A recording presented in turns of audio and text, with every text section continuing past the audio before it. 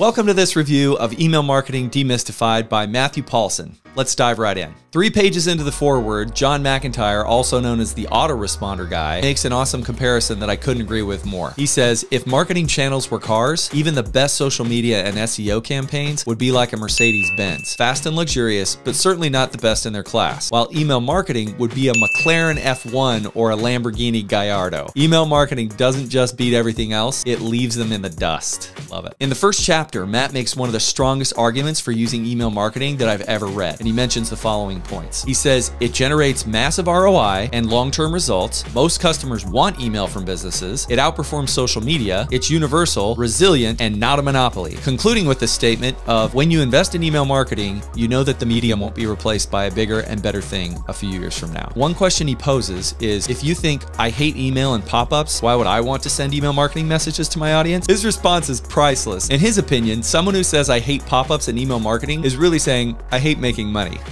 He provides a lot of actionable advice on the types of forms you can create and how to test which ones are the most effective, as well as elements to change and test for. Matt gives you action steps to complete at the end of each chapter. I think this is helpful for readers to take action and or get unstuck. Between some of the chapters, he shares case studies of businesses that he has either founded or worked with and ways that he's used email marketing to grow that business. I love hearing these examples because it gives me and you as the reader relatable ways that we can use email marketing for our businesses. In the second case study, he shares an example example of a software as a service creator who uses surveys to ask his website visitors what problems they have and what they're struggling with to create lead magnets for them based on their responses. This is great advice if you're unsure what those might be. He gives a great list of ways to grow your email list beyond creating lead magnets and leveraging your own blog or website traffic that are very intriguing. One of which is email swaps, where you agree to promote another business through your list and they agree to promote yours to theirs. He gives detailed and descriptive examples of types of broadcast emails that can be sent, autoresponder emails that can be sent, and engagement emails that can be sent, along with scheduling ideas to properly space out how often those emails should be sent. These are great reminders of all the different ways that you can use email to communicate with your audience,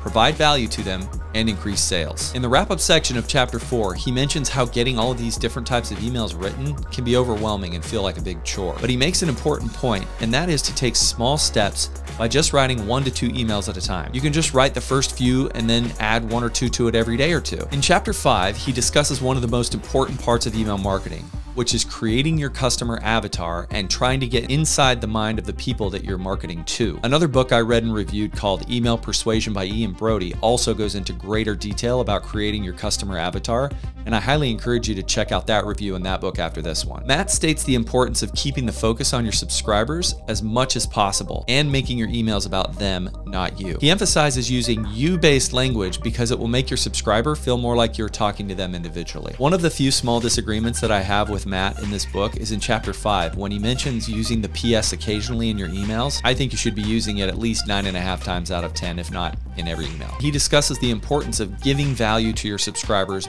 more than asking for something from them. He shares fantastic information about different types of subject lines that you can use to stand out in the inbox. Matt also provides examples of his own emails for writing an announcement email, an affiliate marketing email, a content promotion email, and a feedback email. Then he gives a really helpful acronym to use as a framework for writing sales and marketing email copy. It's called AIDA, A-I-D-A, which stands for Attention, Interest, Desire, action. He provides a great list of best practices to follow when sending any email. He outlines six different categories of ways to monetize your mailing list, and he also has corresponding subcategories of additional ideas to monetize as well. Toward the end of the book, he talks about single and double opt-in subscribers and makes note that single opt-in mailing lists generally grow faster than double opt-in and says while they may have lower open rates and higher bounce rates, Single opt-in mailing lists tend to have a higher total number of engaged subscribers. I don't agree with that.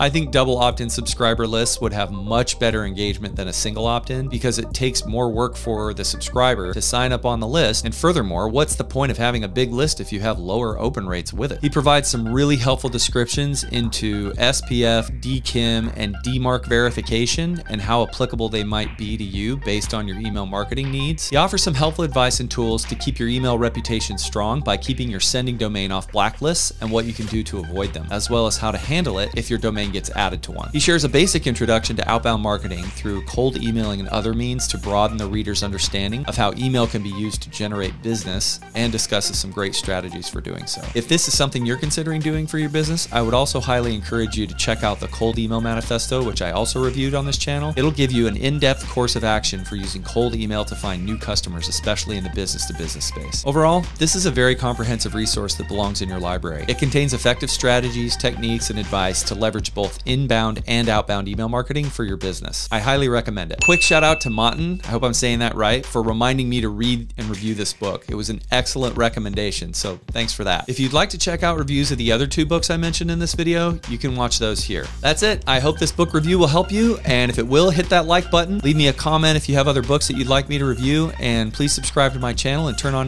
notifications if you want to get more email marketing videos like this. Have a great day.